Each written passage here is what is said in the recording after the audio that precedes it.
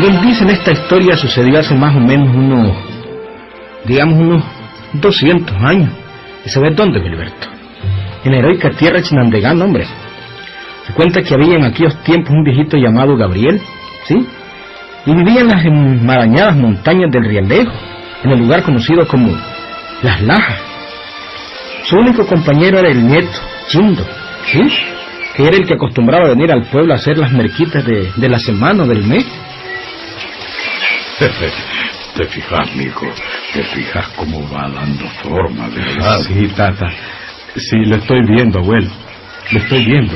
Es una obra de arte, una obra de arte.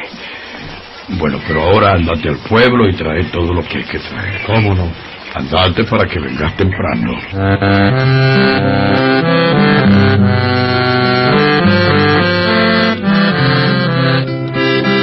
Aquel viejo era apreciado en el pueblo, amigo, en Chinandega. Pero últimamente tenía bastante tiempo de no bajar de la montaña. Tan dedicado estaba en su obra. Cuando el nieto bajaba, la gente le preguntaba por su abuelo. Ajá, Chindo. ¿Y tu abuelito qué tal, ah? Pues ahí está mi abuelo. Eh, Le mandó saludos y me dijo que le preguntara por su dolencia. Es que cómo sigue. Ah, pues yo siempre cayendo que levantando. Vaya, carajo. Ah, Pero decime, ¿hace cuánto tiempo que no baja don Gabriel? Bueno, déjeme ver. Uno, sí, y sí, ya tiene como un año de no bajar. Es que está trabajando en madera. ¿Y, qué es lo que está haciendo, ah? ¿Alguna carreta? No, ahora está trabajando en un lugar muy escondido, ¿sabe? Ah, Se ha ido a meter a la montañita que queda frente al rancho, cruzando el río. ¿y de ahí? ¿Y ahí trabaja? ¿En media montaña? Sí, señora. Ay, en media montaña. Está haciendo un Cristo acostado que le piensa regalar a la parroquia de Santana. ¡Ah! No me acordaba. Don Gabriel ha sido siempre buen escultor. Claro, un buen escultor. Según me han dicho, es muy hábil. Sí, señora. Ese Cristo que está haciendo, solo le falta hablar. Viera qué bello que está. Mira qué bien hecho. Y según dice la gente, pues, don Gabriel no hizo aquel Cristo en un día, ¿no? Se tardó meses y años. ¿Sí? Todos los días trabajaba en su sembrado. Los días viernes se internaba en la montaña para seguir labrando aquel Cristo.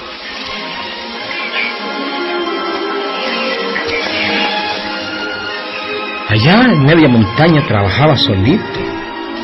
Solo en ocasiones llevaba a su nieto para que viera la imagen. Era en un tronco de árbol, depositado en el suelo sobre un lecho de hoja siempre verde, amigo. Era casi una obsesión la de aquel viejo por terminar la obra. Sí, ya la cara dio forma. Dio forma. El Cristo muerto. Solo le hace falta una expresión de dulzura en la cara. Y también me hace falta la herida del costado. Hoy se la haré, hoy mismo. Esa es mi tarea de hoy. No me voy sin que quede hecha la herida. Son más de las seis. Y no ha venido mi abuelo. Nunca acostumbra venir tan tarde. Y por otra parte, a esta hora ya no se ve. No puede labrar al Cristo. Ah, está bien. Voy a acostarme. Tal vez viene más noche.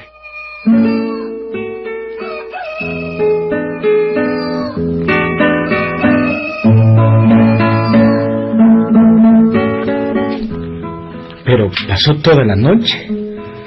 Amaneció el día siguiente y el viejo no regresaba. Caramba. Ya me preocupó mi abuelo. Ya entró la mañana y no viene. Hombre, carajo, voy a tener que ir a buscarlo. Y así fue, amigo. El nieto dejó la casita, cruzó el río y subió a la montaña. Nunca su abuelo se había quedado trabajando toda la noche. Y como bien decía él, la noche está oscura. ¿Cómo iba a poder labrar el Cristo aquel anciano en la oscuridad, amigo? No, ¿verdad? Bueno, el caso fue que cuando el nieto llegó, El anciano estaba embrocado sobre la imagen trabajando. Abuelo, abuelo. Y ahí, todavía sigue trabajando. Sí, hijo, sí. Toda la noche pasé trabajando, pero logré darle la expresión que yo quería. Logré también terminar la herida del costado. Pero, abuelo, desde ayer no ha comido nada usted. No te preocupes, hijo, no tengo hambre. Y, entonces, ¿a qué hora nos vamos a la casa? En cuanto mires bien la imagen y me des tu opinión. Acércate. Más. Ahora, mira. ¿Qué te parece? Mira. Míralo, hijo. Míralo. Abuelo. Con, con, este cuchillo le hizo la herida. ¿Ah? Ay, si mi hijo hubiera querido una mayor alegría en tu rostro, pero ya te conozco que eres así, muy parco. Además, ¿por qué la pregunta, hijo? ¿Con qué querías que se la hiciera? Pero, mire, abuelo, mire. ¿Qué, hijo? El cuchillo está... está manchado de sangre. ¿El cuchillo? Sí, pero... Pero mire, abuelo. ¿Qué, hijo? El costado de... de Cristo está lleno de sangre. Hijo, dame el cuchillo y no digas nada de esto a nadie. Al menos mientras yo viva. Eh, eh, pero estamos claros. Pero, abuelo, eh, está bien. Sí, abuelo, está bien. bajemos ahora a la casa. Se quedó pensando el nieto, amigo. Pero no dijo nada. Ambos dos bajaron de la montaña. Aquello era un milagro, amigo. No había duda, un milagro. Y el muchacho quería convencer al abuelo para que fueran al pueblo. Pero no pudo hacerlo, amigo. Pues al día siguiente aquel anciano amaneció muy mal, enfermo gravemente. Hijo, no digas nada hasta que yo me muera. No digas nada. No digas nada. No, abuelo. No. Pero usted está muy enfermo. Tengo que ir a llamar al doctor. No, hijo, no. Yo sé que hoy me voy a morir. No diga eso, abuelo. Es inútil, hijo. Anda al pueblo. Habla con el curita y dile que venga a ayudarme a bien morir. Que, que vaya a la montaña por la imagen. Apresuradamente el muchacho salió de la casa en busca del cura. Iba para Chinandega. En el camino le cogió un gran aguacero. Pero con todo y todo, amigo, logró llegar al pueblo, hablar con el padre y reunir a un grupo de gente para que todos fueran por la imagen. Se cuenta que con el curita fueron un grupo de diez hombres. Cuando llegaron a la casita de don Gabriel, ya era tarde, amigo. El anciano estaba muerto. Hijo, llegamos tarde. Dios lo tenga en su santo reino. Lo llevaremos al pueblo para darle sepultura. Pero, dime, ¿qué cosa? ¿Dónde está la imagen que él hizo para la iglesia? Señor cura, eh, está allá arriba en la montaña. Si gusta, vamos por ella ahora mismo. Todos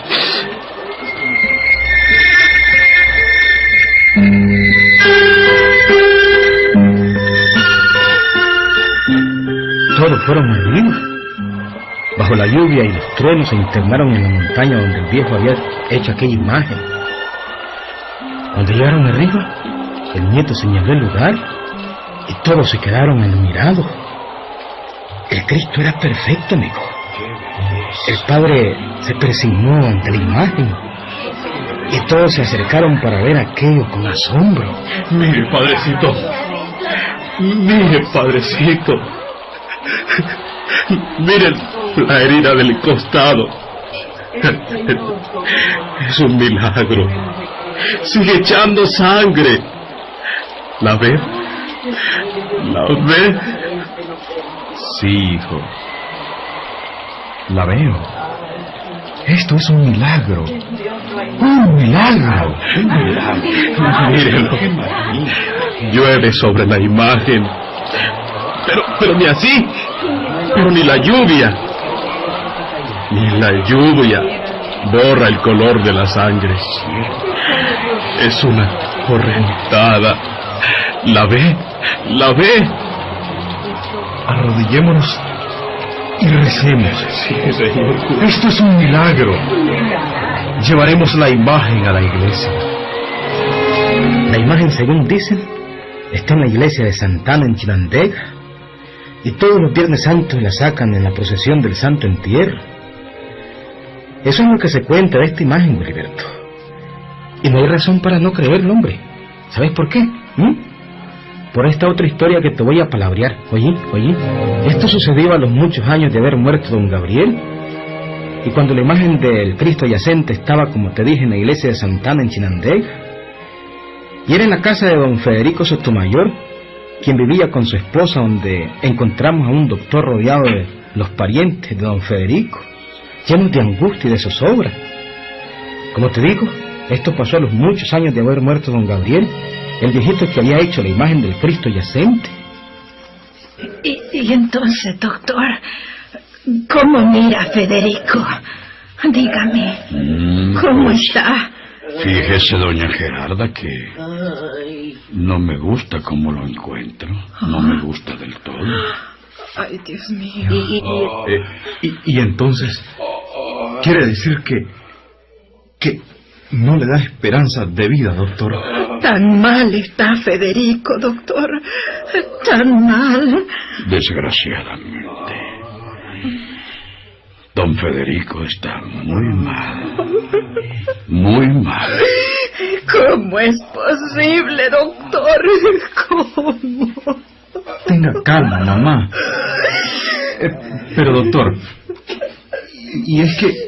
Y, y- eh, no hay cómo decir... ¿y ¿Qué es lo que tiene mi tata? Bueno, Ramón no podría decirlo. Pero la verdad es que su enfermedad no es común. Es un mal desconocido para la ciencia. Esta aún no descubre algunos tipos de virus. Tu padre tiene eso. Un tipo de virus desconocido que resulta muy extraño a los conocimientos médicos. Entonces... qu- Quiere decir que... que se nos muere. Exactamente. No hay más que esperar. Lo siento. Puse toda mi ciencia a la orden de él. Hice todo lo posible. Pero ustedes lo ven. Créanlo que lo siento. Federico.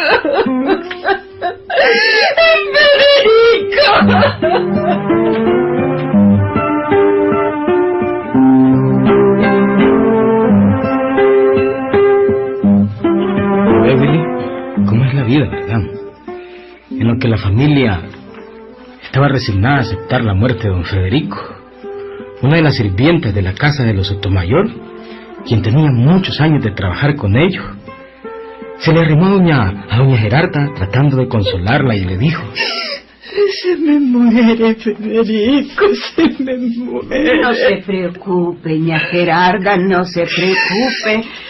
Lo que usted tiene que hacer es, es, bueno, ir a pedirle por don Federico. a la imagen del Cristo yacente de la iglesia, de la iglesia Santa Ana. No, no, Chola, no. Si el doctor ya dijo que no tiene cura. No importa. Vamos, yo la acompaño. Vamos, ña Gerarda. Vamos, vamos.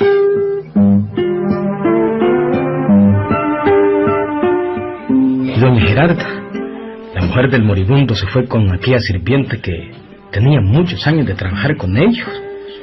Se fueron a la iglesia donde estaba el Cristo yacente.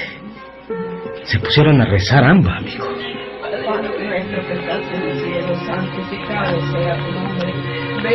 En eso estaban cuando de pronto se vio venir a Ramón, el hijo de aquel matrimonio.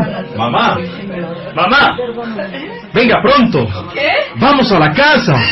Mi tata, mi tata. Ya se murió tu tata, amigo.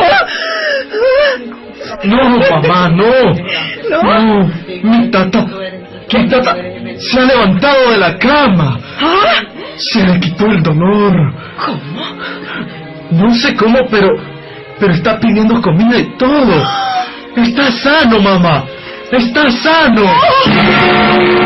Sí, sano y pidiendo comida y todo. Vamos, hijo, vamos. Doña Gerarda, un momento. Dese cuenta que esa mejoría de don Federico se la debe al Cristo yacente. Lo mejor es seguirle rezando, agradecerle el milagro. Esto ha sido un milagro, un milagro, doña Gerarda. Recemos, recemos, demos gracias al Cristo yacente. Vamos, vamos, vos también, Ramón. ¿Cierto, Willy? Lo que don Federico tenía era cáncer. En aquel entonces, la medicina todavía no sabía lo que era, amigo. Mi nombre le habían puesto a esa infernal enfermedad. El Cristo yacente lo curó. Sí, Wilberto, lo curó.